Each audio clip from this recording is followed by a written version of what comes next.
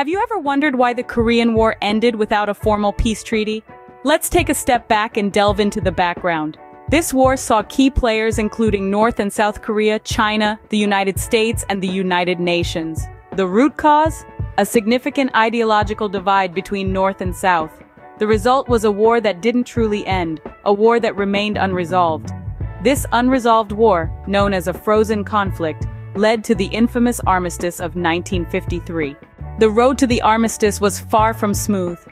Amidst the tumult of the Korean War, an intricate tapestry of events led to the armistice. The war was marked by bloody stalemates, shifting front lines, and an immense loss of life on both sides. It was a time of tremendous turmoil and conflict, with each side vying for dominance and control. In the early stages, peace talks seemed like a distant dream. There were countless failed attempts at negotiation, with each side unwilling to compromise. It was a time of tension and despair, with the prospect of peace seemingly fading further into the distance. Yet, despite the challenges, the United Nations stepped in, playing an instrumental role in fostering dialogue and paving the way for potential resolution. Their involvement was a beacon of hope amidst the chaos, a sign that peace might still be attainable. One of the most significant moments in this journey was the Panmunjom negotiations. Here, in a small village on the demarcation line, pivotal discussions took place.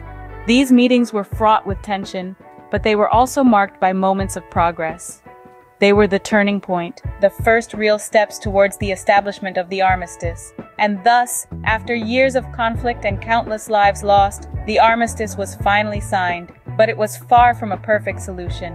The armistice marked the cessation of hostilities, but it was not a peace treaty.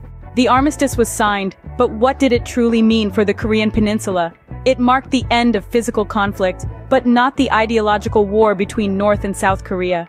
The armistice drew the line of division along the 38th parallel, creating a buffer zone known as the demilitarized zone, a stark symbol of division and tension.